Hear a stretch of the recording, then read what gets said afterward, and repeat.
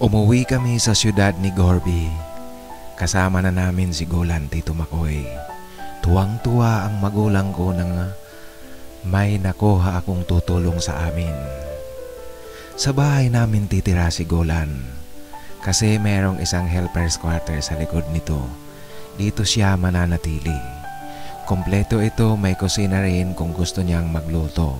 Kahit pa ang pagkain ay libre kasi nga meron kaming resto. Masipag, mabait at masunurin si Gulan. Kaya tuwang-tuwa ang mga magulang ko sa kanya. Siya nga ang paboritong paborito sa lahat na naging houseboy namin.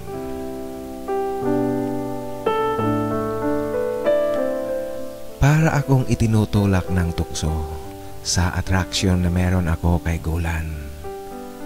Holy Week noon, sarado ng ilang araw ang resto at ang mga magulang at kapatid ko ay nagbakasyon sa ibang lugar. Hindi ako sumama sa kanila. Naiwan kami ni Golan kasi hindi rin siya umuwi sa kanila kahit na may kahabaan ang araw na walang trabaho. Pagkakataon na ito, di ko pa pinalampas Tito Makoy habang kaming dalawa lang ang naiwan sa bahay. Niyaya ko siyang mag-inuman kaming dalawa sa loob mismo ng kanyang houseboy quarters. Solo namin ang lugar. Sinadya kong malasing kami pareho pero ako ang mas nalasing. Hindi gaanong lasing na lasing pero nagkunwari lang talaga ako. Kaya alam ko ang lahat na nangyayari. Nahihiya siguro si Golan na sabihan akong umuwi na kaya hinayaan niya akong nakayuko sa upuan at nakakatulog na. Kinuha ni Golan ang susi ng bahay na nakalapag lang sa mesa.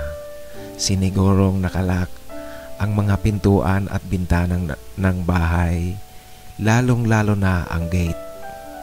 At pagbalik niya ay inihiga niya ako sa kanyang kama.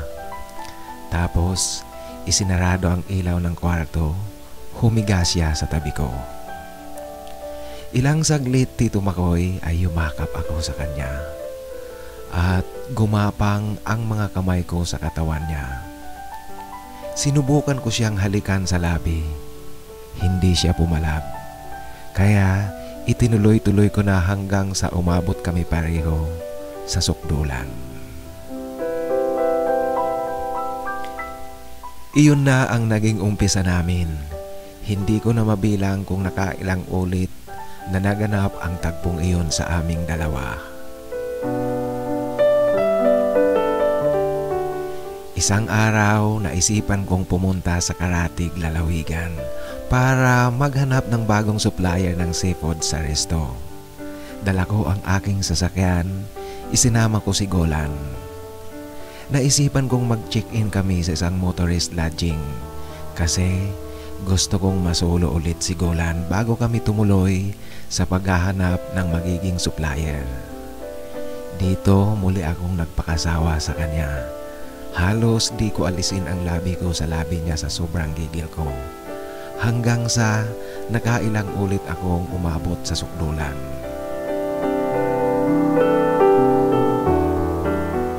Nang namamahinga kami, tinanong ko si Golan kung natutuwa ba siya sa ginagawa namin at sa lihim naming ugnayan. Nanlumo ako nang sabihin niya, Kuya, sorry ha. Sa totoo lang po, hindi. Pero hindi ako makatanggi sa iyo kasi nahihiya ako. Ayokong masaktan kita kasi ang bait mo. Tapos, baka mawalan ako ng trabaho. Kailangan ko ang trabaho. Uwi ka niya, Tito Makoy. Bigla akong natauhan sa narinig ko sa kanya na may dalang pagkakonsensya na rin. Nako, bakit di mo sinasabi sa akin na ayaw mo? Sira ulo ka pala. Uwi ka ko, Tito Makoy, na may paninisi pa. Sorry po, kuya. Kasi pag sinabi ko baka tanggalin mo ako sa trabaho, alam mo na kailangan ko talaga ito. Uwi ka ni Golan.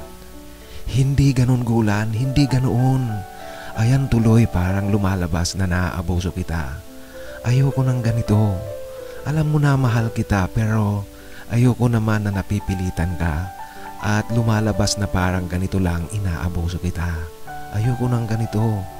Di ko alam gulan kaya sorry. Ang alam ko gusto mo rin kasi hindi ka tumatanggi. Sorry talaga hindi ko alam kung ano ang nasa isip mo. Nakukonsensya tuloy ako sa iyo gulan. Sorry. Pero wag mong isipin na inaabuso kita. Kasi hindi. Wala yan sa plano ko. Wika ko Tito Makoy, sabay bangon at nagsuot ng damit. Bago kami lumabas ng silid, niyakap ko siya muli. Sabay na nagpapaumanhin ako. Ang sabi ko, sorry kung sa akala mo at sa pakiramdam mo inaabuso kita. Pero hindi kita inaabuso. Pero hayaan mo Golan, babawi ako sa'yo. Okay lang po kuya, huwag kang mag-alala.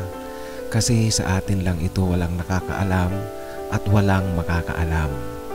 Paniniguro at sagot sa akin ni Golan Tito Makoy.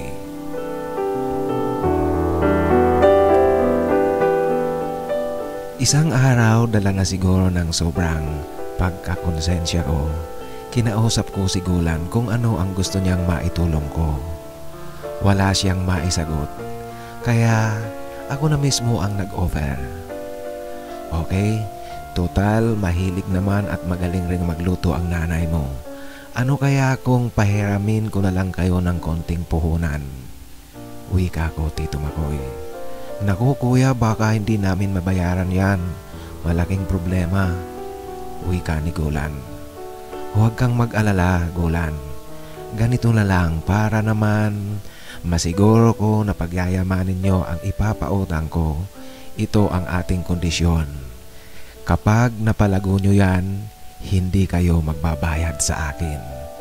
Pero kung naubos yan at wala akong nakitang pagbabago sa buhay nyo, sisingilin kita, sisingilin ko talaga kayo. Sabihin mo yan at ipaliwanag mo sa mga magulang mo. Wika ko. Sige po kuya, sasabihin ko. At kung sakaling di mapalago, ako na lang po ang magbabayad sa iyo. Wika ni Golan.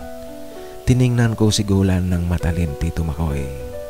Sabay sabi ko, Golan, hindi mo ba nakikita tuwing umagang nag exercise ako? Kung nakikita mo ang taas at lakas ng sipa ako, gusto mo bang tumama yan sa mukha mo? Wika ko, Tito Makoy. Biro lang po kuya. Salamat po. Salamat talagang marami. Wika ni Golan. Golan, di ko gusto ang ganyang biro. Sabi ko sa kanya, Tito Makoy. Sorry po kuya, sorry. Pero maraming maraming salamat talaga.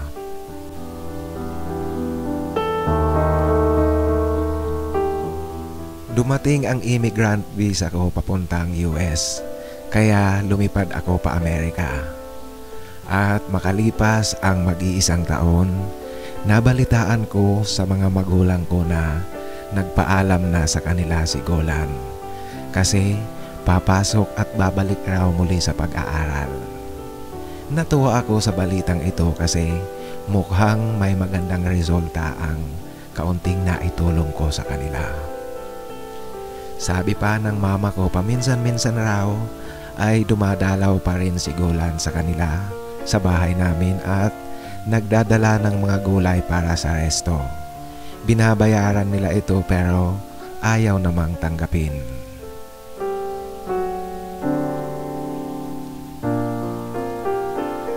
Makalipas Tito Makoy ang mahigit limang taon ay umuwi ako sa Pilipinas. Isang araw may kumatok sa gate namin. Nang buksan ko, nabigla ako sa nakita ko. Si Golan, ibang iba na ang itsura ngayon kaysa noong umalis ako. Yumakap sa akin si Golan. Sabay sabi, sabi ko na kuya, nandito ka na. Kumusta ka na po kuya? Namiss kita kuya. Wika niya sa akin. Kumusta ka na Golan? Tanong ko naman. Naku medyo nahuli ang pag-uwi mo. Kasi last month nagtapos na ako ng college. Sayang wala ka. Pero iimbitahin kita sa Sabado pati na rin si ma'am at si sir. Mga magulang mo. Sana lahat kayo pumunta. Uwi ka ni Gulan, Tito Makoy. Sige, sasabihin ko sa kanila at pipilitin ko silang sumama.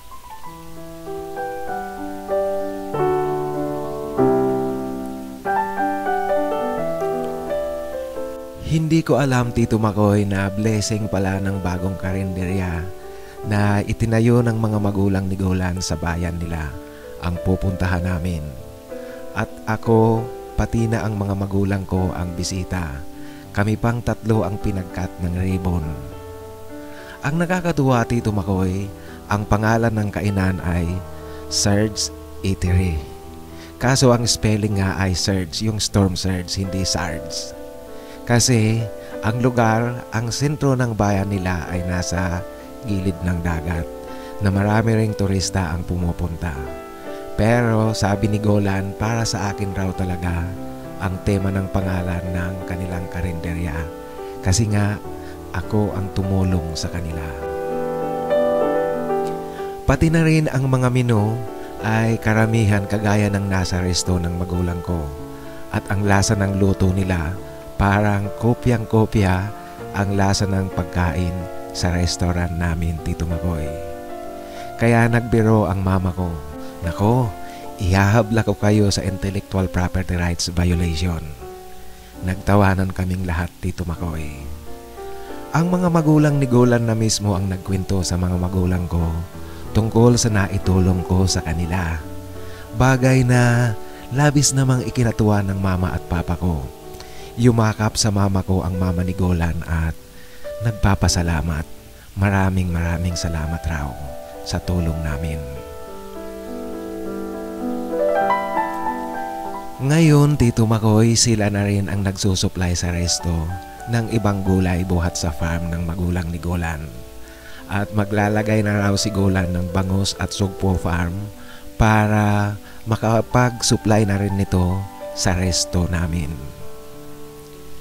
Kamakailan lang Tito Makoy ikinasal na si Gulan at siyempre ninong ako sa kasal. Minsan nag-uusap kaming dalawa lang ay naitanong niya kung kumusta na raw ang puso ko. Ang sabi ko sa kanya Tito Makoy, gaya pa rin ng dati, single pa rin. Kuya, kung kailangan mo, nandito lang po ako. Uwi ka ni Golan. Tumingin ako sa kanya, Tito Makoy, ng medyo hindi maganda. Kuya naman, galit ka agad. Ang ibig ko pong sabihin, kuya, nandito lang ako, ang pamilya namin, ngayong may asawa na ako, ang asawa ko, nandito kami lahat. Kung kailangan mo ng tulong o kahit anong makakapagpagaan sa kalooban mo, sakaling may problema ka, andito kami para sa iyo. At sana kuya, makatagpo ka na rin ng partner na hindi sasayangin ang kabaitan mo. Wika ni Golan, Tito Makoy. Golan, wag mo kong alalahanin. Kaya ko ito at kaya ko ang sarili ko. Sagot ko sa kanya. Salamat ulit kuya, salamat sa lahat. Sa lahat-lahat kuya, utang namin lahat ito sa iyo. Ako at ng pamilya ko. Wika ni Golan, sabay yumakap sa akin. Yakap kapatid. Tapos mula sa kalayuan ay inalok ko rin na lumapit ang asawa niya at paglapit nito ay niyakap ko rin siya ng mahigpit.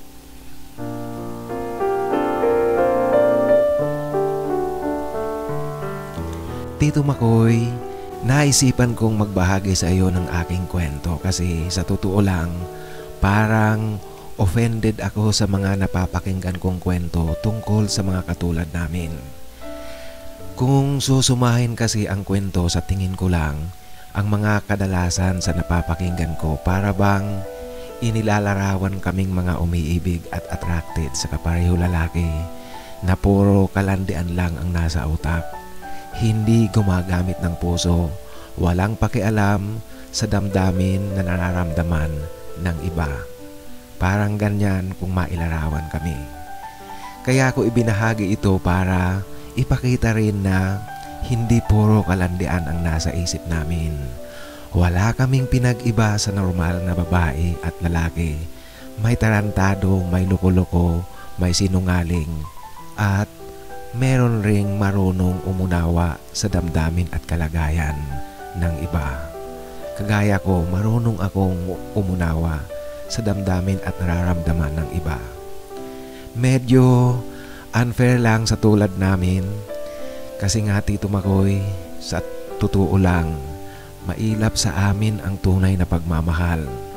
Mahirap kaming makatagpo ng magbibigay sa amin ng pagmamahal kagaya ng ibinibigay namin.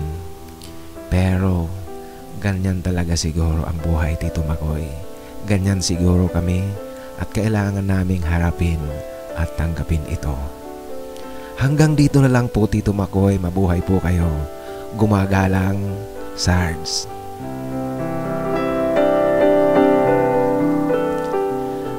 Maraming maraming salamat Sards sa pagbabahagi mo ng iyong kwento. Nako, Sards, iba ka, namumukod tangi ka sa karamihan. Busilak ang iyong puso, ibang klase ka talaga.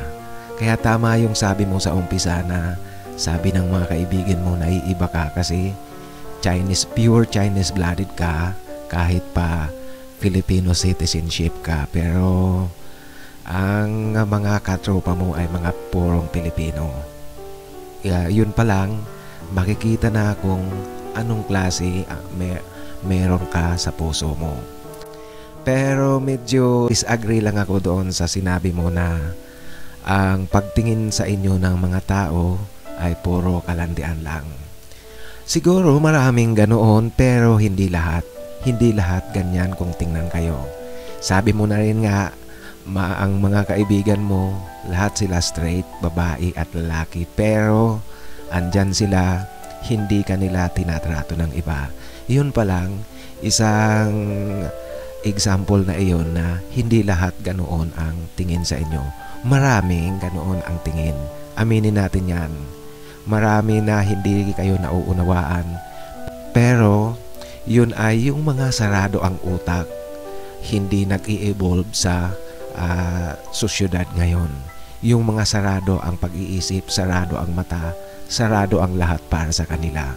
Yun lang ang uh, mga tumitingin sa inyo sa ibang uh, sa ibang anyo. Pero meron rin namang na uh, kung tingnan kayo, yung normal na at tinitingnan rin kayo sa uh, hindi sa kaanyo-anyo o kaya sa sexual preference nyo, kundi sa loob ng inyong puso, ang katangian nyo sa loob ng inyong puso. At isang ang example ko na dyan, yung mga kaibigan mo, tulad ni Gorby.